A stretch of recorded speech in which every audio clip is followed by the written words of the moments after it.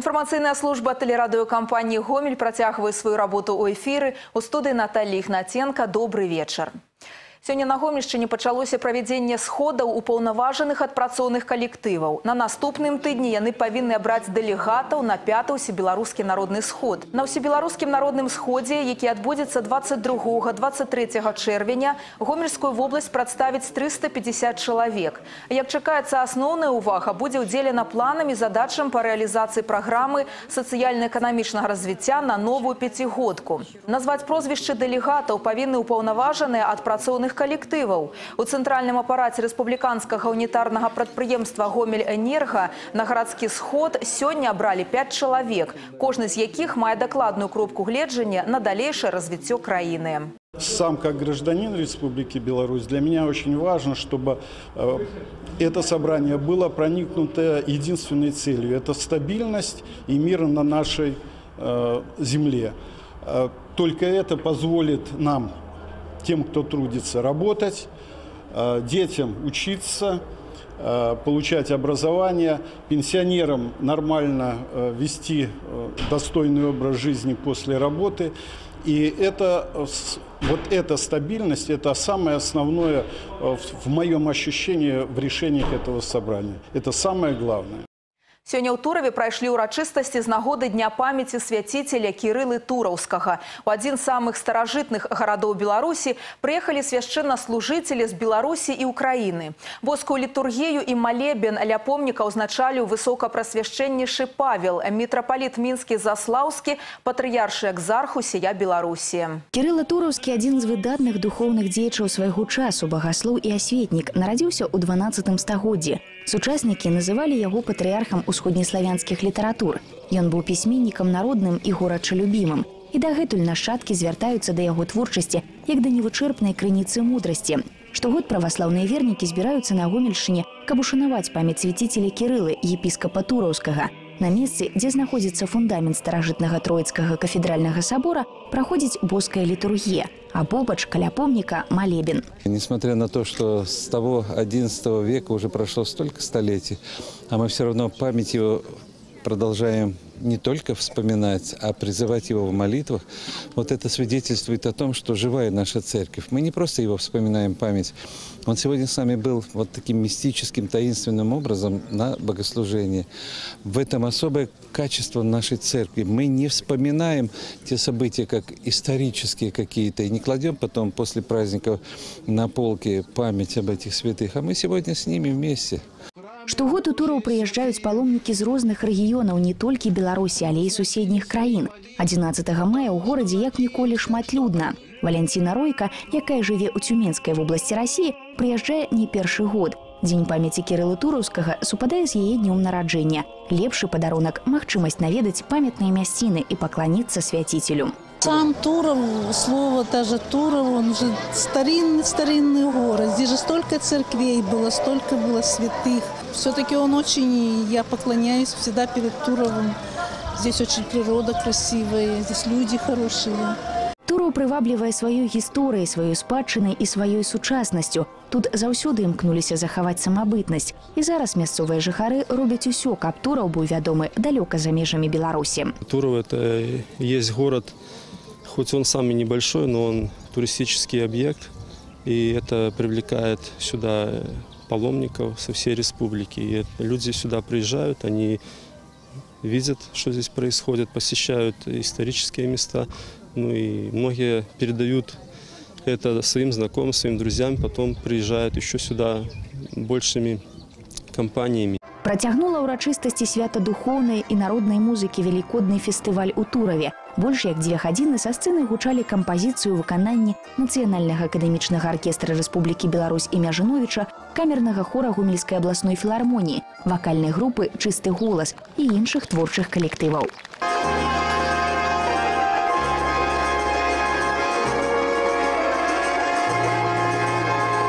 Дзень памяці кірылы тураўскага сведчанне таго, што людзі працягваюць шанаваць памяць выдатнага асветніка і пісьменніка. Яго духоўна-асветніцкая спадчына для ўсяго ўсходняга славянства з'яўляецца сімвалам яднання народаў. Дмітрый Котаў, Алеся Рудзянкова, Сергей Лукашук, тэлерадыёкампанія Гомель з Турава. Да іншых тэм. У Гомелі працягваецца падрыхтоўка да 13-го эканамічнага форума. Яго правядзенне прызначана на 20 мая. За час правядзення ў Гомелі эканамічных форумаў заключана каля 70 пагадненняў. Амаль 60% праектаў ужо рэалізаваны ці знаходзяцца ў стадыі рэалізацыі. Што тычыцца сёлетняга форума, то для яго ўдзельнікаў падрыхтавана больш як 150 інвестыцыйных прапаноў, якія будуць прадстаўлены на спецыяльнай выставе і размешчаны ў каталозе. Пры гэтым свае Свае праекты патэнцыяльным інвестарам з больш як 20 краін свету прэзентуюць усе раёны Гомельской области. Потому что инициатору проекта, как всегда, виднее, в какой стадии находится этот инвестиционный проект, если под него земельный участок, либо неиспользуемый объект недвижимости, на котором можно реализовать. Гомельскім аблвыканкамі прынята рашэнне аб інвентарызацыі дагавораў куплі-продажу дзяржаўнай маёмасці. Продажа аб'ектаў, якія не выкарыстоўваюцца, адзін з рэзерваў для стварэння новых вытворчасцяў і працоўных месцаў, а таксама прыцягнення інвестыцый.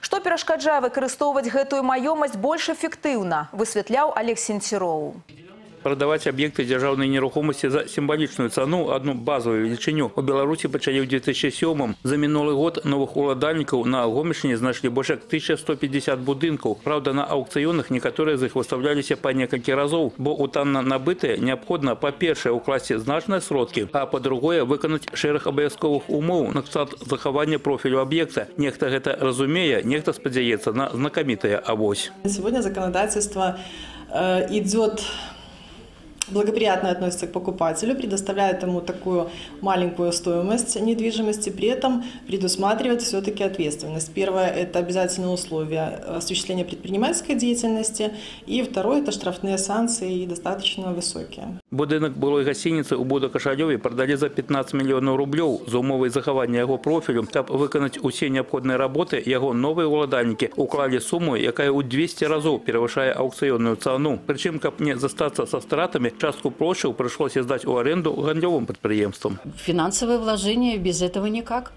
Были определенные сбережения – определенные сбережения. И прежде всего начали с центрального входа улицы Ленина. Вот сейчас немножечко перешли во дворы. Значит, вот в данный момент немножко комфорт-класса привели в соответствие. Э, другое крыло мы планируем под хостелы Фактаў выканання сваіх абавязацельстваў на гомельшчыне шмат, хоць недобрасумленных пакупнікоў пакуль таксама хапае, не спыняе нават той факт, што ў выніку скасавання дагавораў неабходна выплаціць вельмі значныя сродкі, якія могуць дасягаць десяткаў мільёнаў рублёў.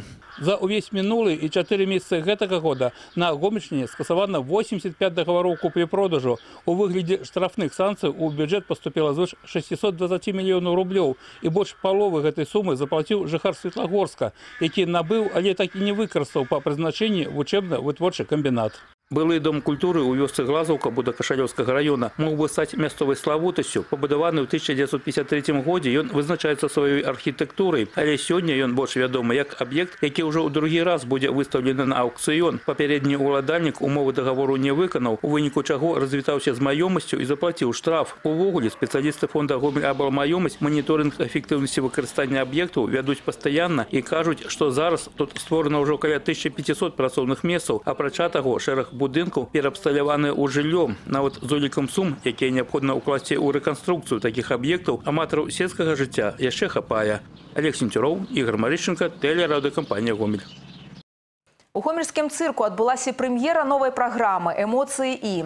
На манеже яркие и видовищные нумары у выкананні народных артистов Российской Федерации Эдгарда и Аскольда Запашных, поветранных гимнастов, акробатов на подкидных дошках, веселого клоунского трыа и многих инших. На премьерном выступлении побывал наш корреспондент Дмитрий Котау. Тое, што адбывалася на працягу болей чым дзвюх гадзін пад купалам гомельскага цырка выклікала шчырае захапленне і прыемнае здзіўленне. Гэта быў фейерверк яркіх уражанняў, сапраўднае свята цырка. Галоўная ідэя новай праграмы запашных, колеры і іх уплыў на чалавечыя эмоцыі. І першымі на сцэне з'явіліся паветраныя гімнасткі Алена Петрыкова і Алена Бараненко, якія ўвасаблялі сабой белы і чорны колер. Назва эцюда сімвалічная дабро і зло.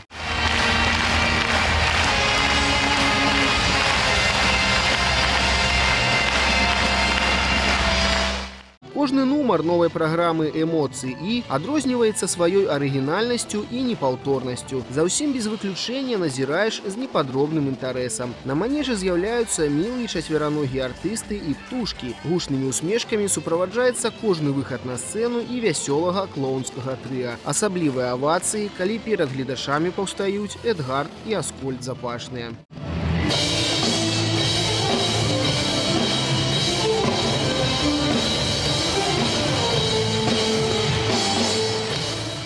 Як адзначаюць Эдгард і Аскольд Запашныя, цёплы і душэўны прыём гомельскай публікі іх сапраўды ўразіў. Аднак, як высветлілася, станоўча ён паўплываў і на чацвераногіх артыстаў. Есть животные в душе артиста, честно могу сказать. И я могу отметить даже не только, не только хищников. Сегодня выскакивал на Тарзане, на моей любимой лошади. Заскочили обратно. Вот я прям видел, как он собой гордился.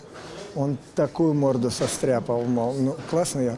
И пошел к балету сразу, что девчонки его тискают, и он такую морду свою, давайте, хвалите. У другой палове праграмы гледачоў чакала выступленне акрабатаў на падкідных дошках і, мабыць, самы чаканы нумар у выкананні Эдгарда і Аскольда Запашных. На манеж грацыёзна выходзяць афрыканскія львы, белыя і ўсурыйскія тыгры. Кожны элемент гэтага атракцыёна з дзікімі трапежнікамі небяспечны. За ўсім, што адбываецца, сочыш з заміраннем сэрца, асабліва, калі выконваецца самы складаны трук скачок на льве.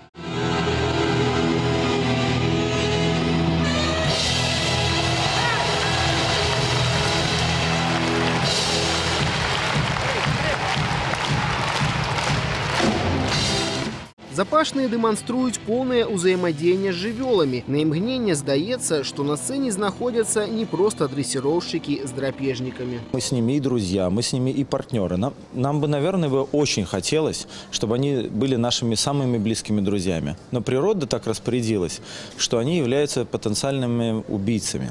И они обладают огромной силой и достаточно скромным интеллектом. Поэтому мы регулируем эти взаимоотношения так, чтобы зритель видел э, достижения, чтобы зритель видел, э, чего может достичь человек. Наверное, именно поэтому люди ходят в цирк.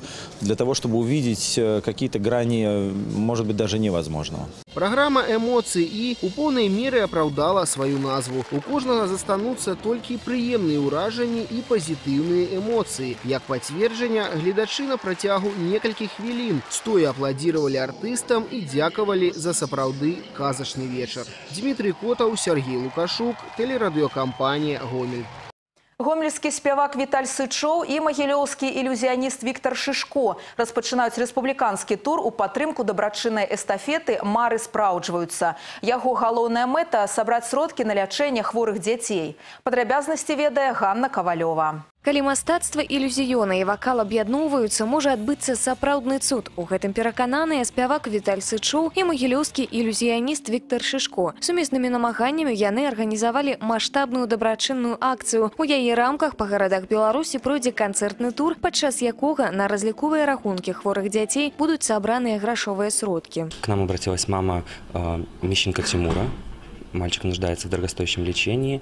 Э, Мы хотим оказать помощь, э, и все желающие тоже могут оказать помощь. В принципе, по всей республике, э, поскольку вся подробная информация о туре, о благотворительной эстафете «Мечты сбываются» м, расположена на сайте «Стерео Чудо». Каждый может зайти, посмотреть, каким деткам нужно помочь. Зараз арганізатары тура знаходзяцца ў пошуку дзяцей, якім неабходна медыцынскае лячэнне. Тыя, каму патрэбна дапамога, могуць выслаць інфармацыю з копіямі дакументаў на электронную скрыню. Першым горадам, дзе Віталь Сычоў прадставіць праграму «Стэрэацуд», стане Жлобін. Услед за ім у тым жа горадзе выступіць Віктор Шышко. Артысты спадзяюцца, што канцэртную эстафету падхопяць і іншыя выканаўцы. Такім чынам, колькасць выступленняў і гарадоў, дзе пройдуць канцэрты, дазволіць дапамагчы большай колькасці хворых дзяцей. Пры гэтым у канцы кожнага канцэрту у кожным горадзе будуць агучаны назапашаныя сумы. Для меня это прежде всего проект, который а, должен э, сделать какую-то частичку добра принести в этот мир, но никак не какой-то там уникальный творческий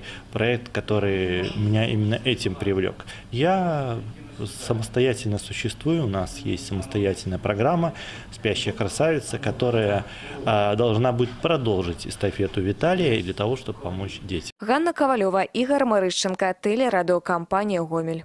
Гэтыя і іншыя навіны вы можете знайсці на нашым сайце ў інтэрнэце па адрасе трайное w.цівяргомел.бівай. На гэтым выпуск завершаны ў студыі працавала Наталлі Ігнаценка. Усяго вам добрага і да новых сустрэч у эфіры.